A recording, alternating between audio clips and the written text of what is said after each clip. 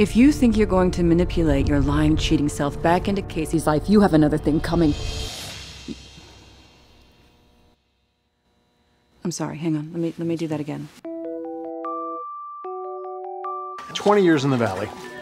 Yes, I started on the show when I was five. Yeah, right? yeah. You're so beautiful. Oh. Hello, Heaven. Is that a prerequisite? Hmm? Ocean view, fireplace, trampoline. You're Lainey Allen. Yeah. I know everyone in town. If you need anything, you just ask me. To new opportunities. Matching jogging suits. Have you seen the keys to the deck door? I don't know.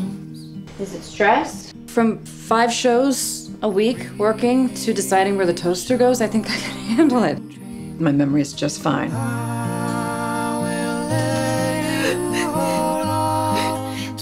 You knew. It was a 50% chance.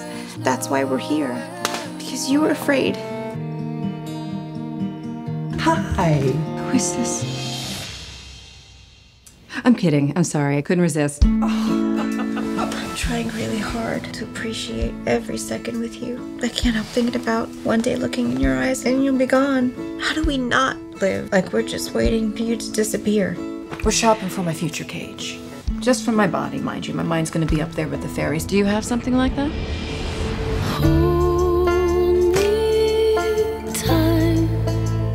So we devote ourselves to a happy now?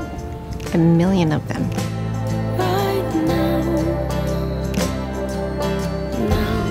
I think you should get a tattoo of my face. I feel like I should explain to you what a bucket list is. I'm just going to have to try and enjoy every moment that I have in all its imperfect perfectness. I love you. Jeez, blah, blah, blah. I mean, give me something I can use. How many people have looked up at those stars and contemplated their existence? It's five. I might be lowballing that. It's maybe like seven people.